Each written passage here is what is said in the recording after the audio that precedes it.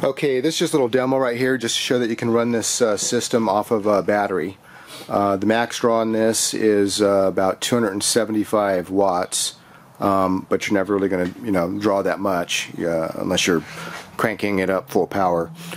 Uh, transformer is going to be about 270 watts, and then if you just throw in 5 watts for the uh, you know the fan, these little lights which are insignificant, um, you're looking at 275 watt max. And so if you round it to 300 watts and you double that, that's what the inverter is rated for 600 watt continuous and then 1200 watt peak. So you got plenty of buffer where you're not going to be overloading this uh, inverter. Um, for the most part, you're going to be drawing maybe around 150 watts if you're setting this at about 50%. And this particular inverter, you want to make sure you have a pure sine inverter. Uh, this is going to be um, offered with the MWO for anybody who is overseas so we don't have to deal with a different 220 volt 50 cycle transformer inside in a Variac that costs three times as much um, and all these complications. And so for anybody overseas all they need is the inverter. We're not um, we're only going to sell them with the inverter that we supply. That way we know it's going to be the correct inverter for 60 cycle 420 volts and what we're looking at is um, I would recommend maybe about 100 to 100 and, you know 25 amp hour range battery. And at full power this is actually going to exceed the 5 hour rating by just a little bit. But the thing is is you're only running it for about 15 minutes so it's not even going to really touch the battery. And then also if you have a 220 volt uh, uh, 50 cycle power supply with a DC output that could be connected to the inverter to um, run it as well and that's a lot simpler uh, a lot more elegant solution than dealing with completely redesigning the inside with different uh, components uh, for overseas. Um, and if you have a battery, you could just keep a you know, a little charger on it, and you you know don't really have to touch it. But that's that's a simple solution for overseas. Or if you want to run it off the grid, you know, take it out, you know, uh, wherever uh, then you know it's completely electrically, electrically isolated from the power supply. So this battery's been sitting out front of the shop for um, you know a year and a half or something like that. We just put a charger on it, one of the old Bedini 2A12 chargers on it for a little while. Um, so it's not fully charged, but it's resting at 12.57. Okay, so I'm going to do is I'm going to turn the inverter on. Not going to use a remote start. Looks like a lot of these inverters now um, they have a remote start with a telephone jack type cable and a remote button uh, with an off and on. Uh, but I would recommend if you're sitting in the chair, do not bring it over there because as soon as it kicks on, that cord can act as an antenna and it can blow out your entire inverter. Um, and so don't do that. Also, again, this is a pure sine wave inverter. Um, with sine wave, do not use modified sine. That's just not not even can't even call it a sine wave. Uh, but a pure sine inverter is as close you can get to a sine wave and oftentimes these sine waves are actually cleaner than what's coming out of the wall. So this is really good for inductive loads and, and so forth. So anyway, gonna we have it clicked on.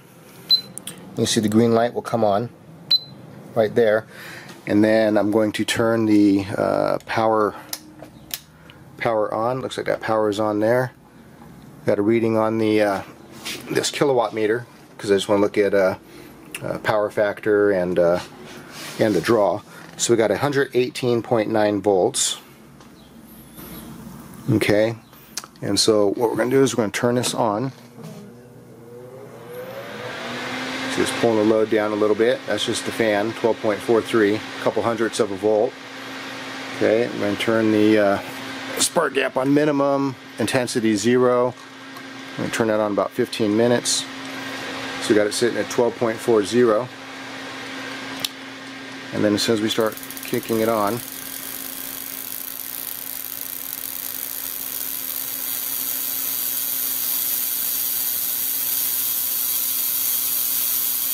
Okay, so that's at 100% on the Variac. And again, this battery's been sitting for about a year and a half, and so it's not it's not really charged up.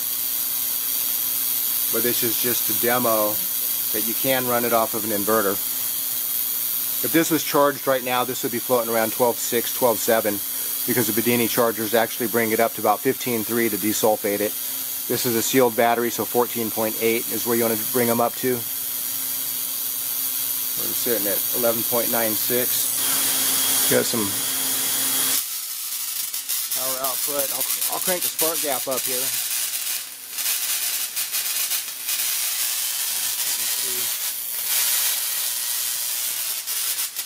Definitely got full power.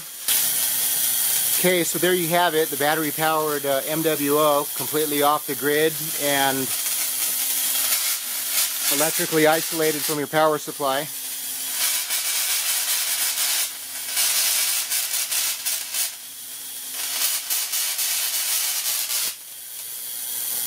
And I'll redo this with another video with a fully charged battery just to show that it's hardly touching it. Again, this battery's been sitting for like a year and a half and we only had it on a charger for about an hour and a half. So, um, but it is a deep cycle so you can take these down to 10 and a half. So it still has some juice.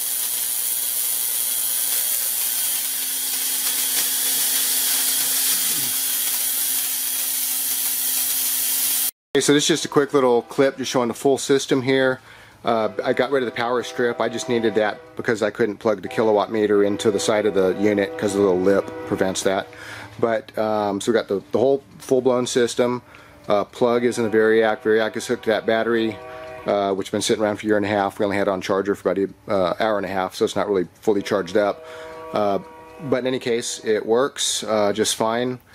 Um, I'm going to go ahead and flick the breaker on.